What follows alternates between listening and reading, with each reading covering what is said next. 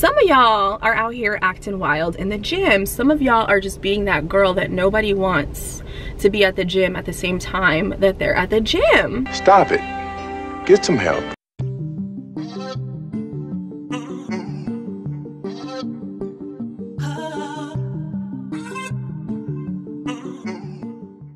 Good morning, you guys. Welcome back to my fitness YouTube channel. It's your girl, Kayla Lashae. And today I'm coming at you girls with something slightly different.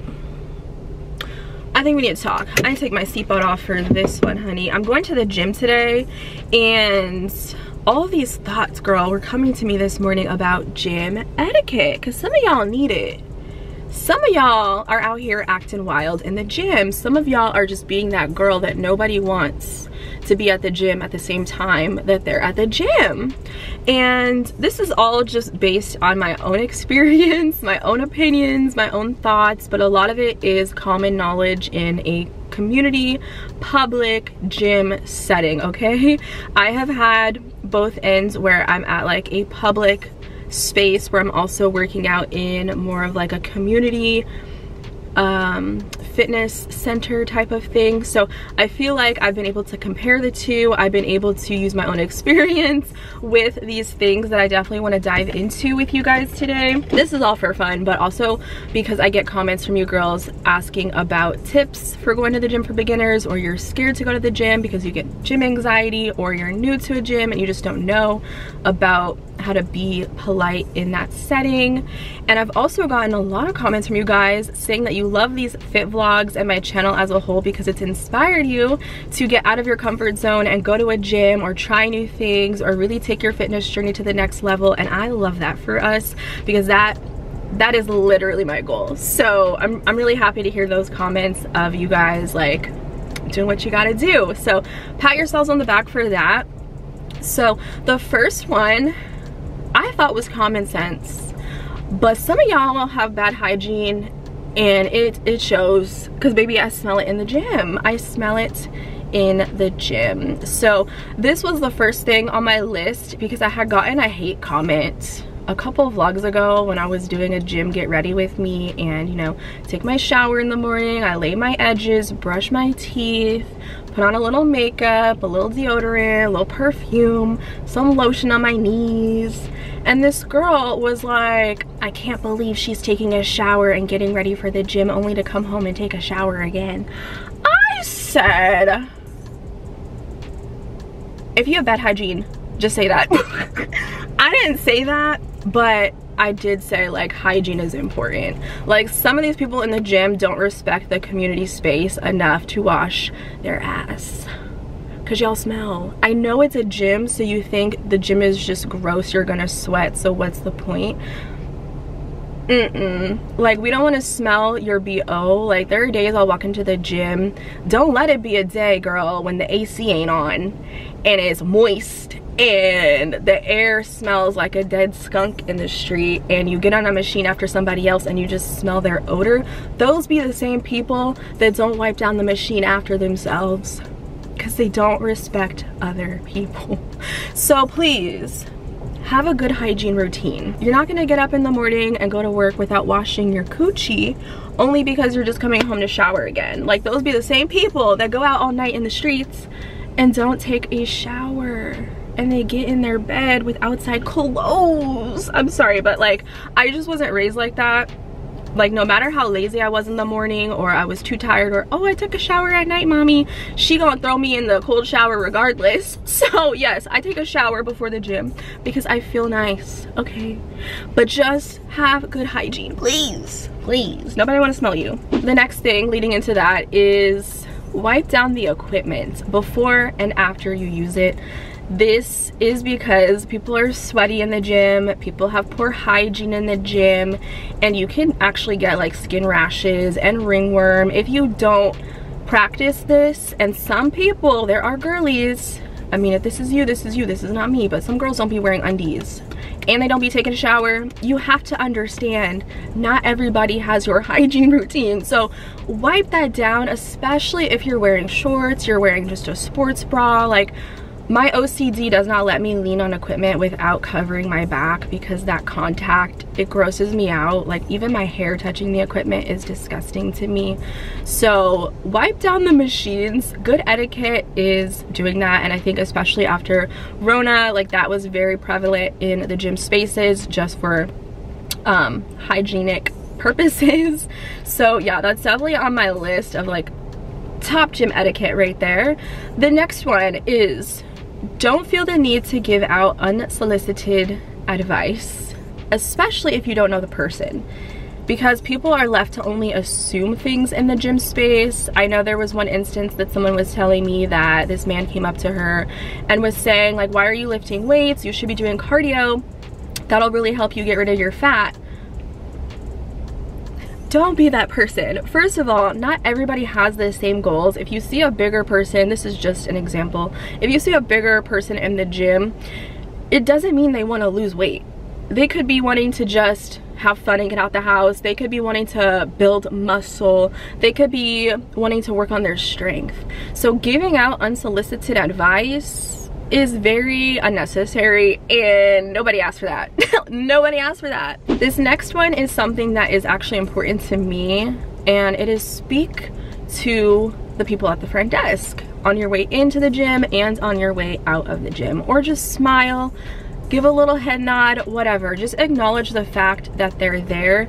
I think this is maybe a personal thing. There are people that walk into the gym and they just don't give a fuck. That's fine. But for me, I like to I like to know the people, the staff that work in the gym space because you never know when you might have a question. You never know if you need something. You just never know. Like I've always been that type of person with my concierge at like my apartment space to want to know the staff and to get comfortable with them because you just never know if you might need something. So speak, say hello. It cannot hurt the situation at all.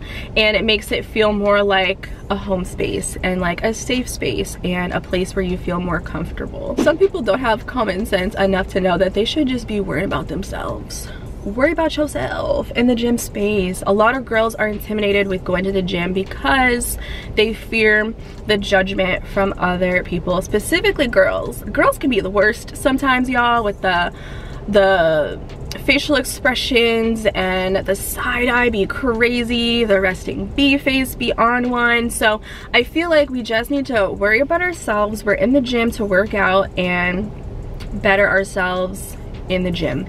So looking at somebody crazy because they are wearing a full face of makeup or their whole outfit is coordinated from head to toe and who cares? If you see somebody in the corner dancing with their music, why are you going to stare them down and try and make them feel uncomfortable? They're just getting in the zone. Same thing with if you see somebody doing a wild, interesting, weird workout, don't be giving them the side eye because you don't understand. Like worry about yourself in the gym space and people won't be worrying about you. They won't be giving you those same stares and side eyes and making you feel uncomfortable. At the end of the day, like you deserve to take up space in the gym just like the next person. So try to have that same like respectful energy if you are more of like a judgmental person. And honestly, people just tend to judge things that they don't understand and that's fine, that's life. But just try to be aware of that in this space. Staring at somebody and looking at somebody are two completely different things.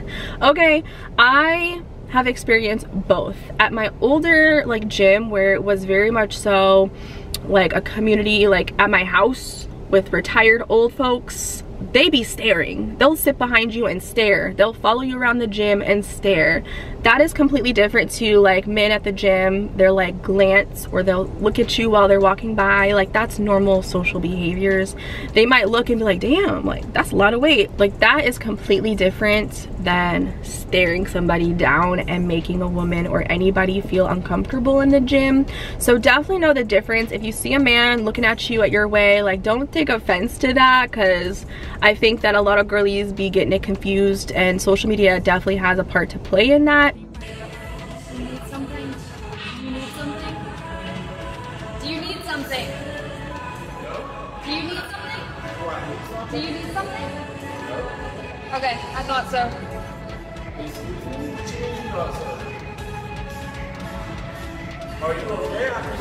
Are you okay? I can- Keep it pushing. If you're getting, if you're getting rude, you can leave. Nobody was looking at you any type of way. I don't own the gym. I, I work here. Yes.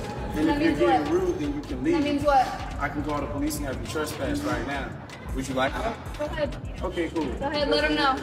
That's what we'll do. So right now, you to take your stuff and head up front.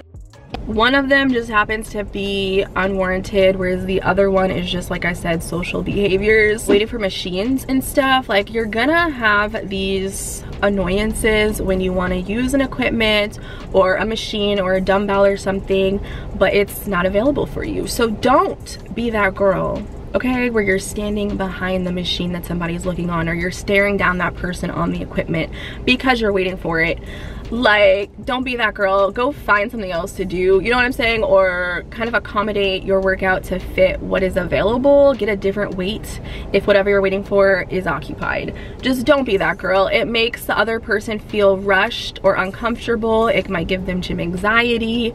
And also like why, why are you six feet okay? Like why, why are you right there? Why? I'm too nice to be like ma'am can you, can you back up? I'm I, i'll be done when i'm done. I'm not gonna say anything but i will just get up and move because it's making me feel uncomfortable. So don't be that girl. Unrack your weights. Put the weights back on the racks because nobody wants to unrack the weights that you put on the machine. That takes a lot of energy. Everybody knows it's so annoying. so when you're done using equipment, you're done using your weights, take it off of the machines and put them back. Sometimes I'll see people in the gym try to unrack their weights, but they're like, oh, I don't know where to put this. So they just put it on another machine and that's not unracking the weights. You gotta put it on the rack where it's not being utilized for the equipment.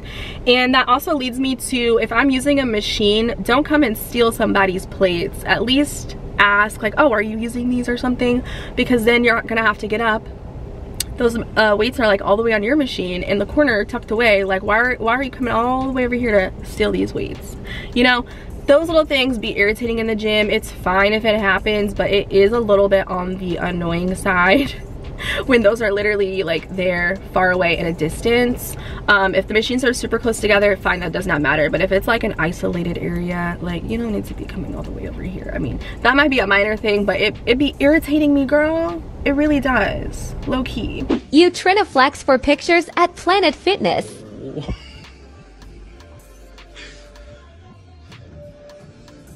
Don't be filming and recording and taking pictures in the locker room if there are people there.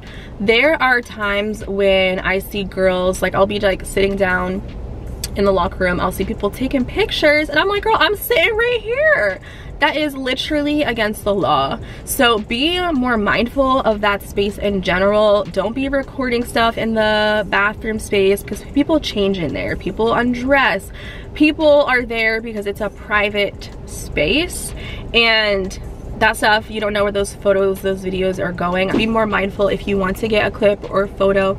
Do it when there's nobody there. I always apologize if somebody walks in and i'm trying to take a selfie like oh i'm sorry just to make it clear like you're not in my stuff you know this also kind of segues me into the next thing which is for all the content girlies. I am that girl you know what i'm saying? So i am definitely on both ends here. Film your content at an appropriate time. If the gym is packed it is busy it is after five o'clock it is a weekend don't be busting out the tripod setting it six feet away so you can record your angles and stuff because it is in the way of everybody else that is in that gym space. So if you want to record your workouts maybe go earlier in the day when it's more dead or try to keep it in a contained area especially when you know there's like nobody really in the background. I think that makes it a lot more respectful in this space. And also keep in mind that you don't need to film every single workout every single set every single rep. This is a gym. It is not a filming studio okay? So yes you can film and record but don't take advantage of that because it can make other people feel uncomfortable especially if they are in the background and they are at the gym to work out not be a background actor you know? So just be mindful of that as well. We have to stop the resting bee face. I was so guilty of this. I had to check myself way too many times because i wanted to be approachable and girl I'll be trying to make gym friends. I can't be making gym friends with resting bee face So I think it can be intimidating when you see just girlies looking mad at the world and just like attitude on a hundred. So i would just say maybe be a little bit more mindful if you are trying to be gym friends with people and you want to be approachable. Not everybody does. Some people and it's totally fine to be walking in the gym to smash your session and leave. Peace out because i be like that as well some days. I'm on my period right now. I feel just like that. But if you want to be that approachable gym girly definitely check your resting bee face. This one right here is probably the most irritating thing that i see in the gym space. And i think it just kind of goes back to people thinking that they can do what they want in the gym and nobody else is a concern because they're not considerate of others in a public space. It is the girlies that be in the gym trying to do these supersets where they take up two to three, four even machines at the same time, especially when the gym is packed and you have people waiting around for certain equipment. Like that is so disrespectful. You'll have girlies go and save machines with a towel or their sweatshirt, a water bottle, their gym bag, and they'll just reserve it for themselves. And if you dare go to the machine while they're on another one, oh, I'm, I'm using that. please, please don't be that girl. That literally irritates me.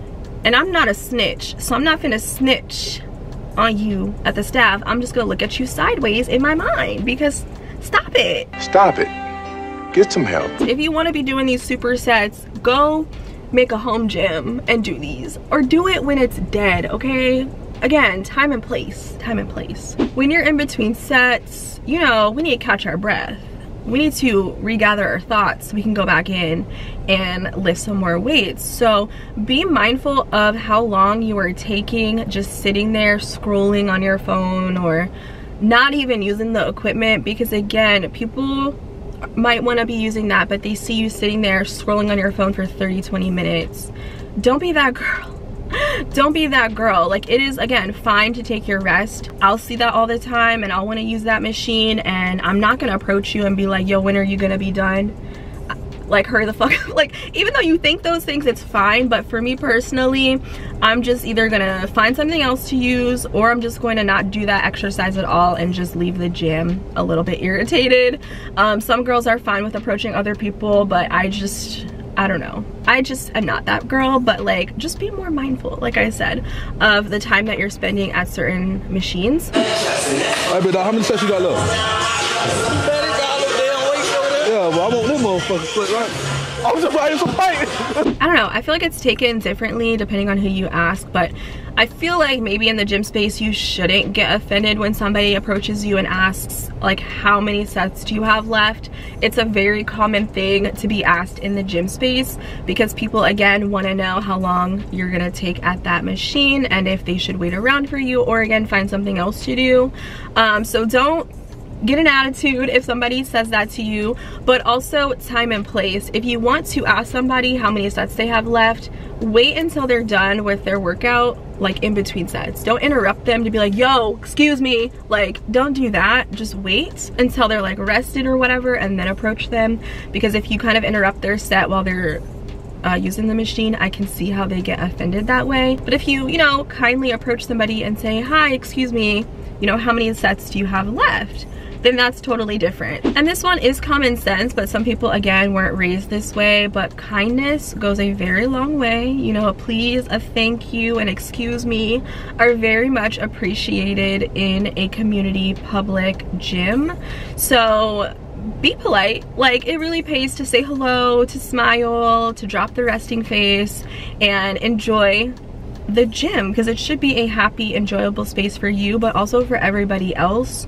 So be mindful of that as well. Remember it's a public space. It's not your personal workout studio so you are not the only one that matters there. So just be considerate of the other people that are in the gym setting and I think that'll make the experience a lot better for you. For me, like when I think of like a public gym, especially in the beginning, it was very much so intimidation, gym anxiety, I don't know what to expect. But the longer that you go to the gym, you start to warm up to it, you start to get comfortable, it starts to feel like a home space where you look forward to going, you start to make friends and get friendly with the staff, and it becomes a space that feels like home.